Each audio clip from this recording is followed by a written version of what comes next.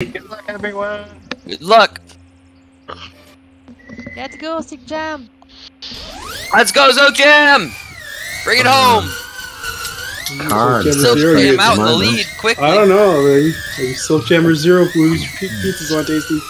Oh man, I, I kind of spread them between Silk Jam and Jam. Zero. Yeah, but this is this is the one that counts. All right, all right, Silk Jam, Silk Jam, bring it home. I want my Okay, let's go to pizzas. I'm hungry. I'm hungry. Don't tell Zero let's do the anything. Just just mess them up. Yeah, Zero, zero. the world's up. flat. Zero, the world's flat. Did you know Is that? it?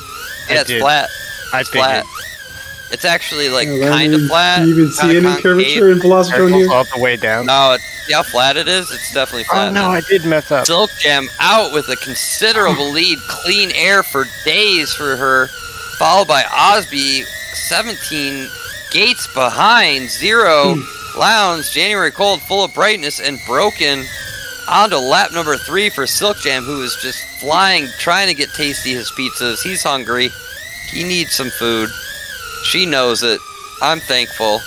Osby in third, Lounge zero, January Cold full of brightness and broken. 100% prop damage, it seemed like sustained. I don't see right. Maybe I saw that wrong.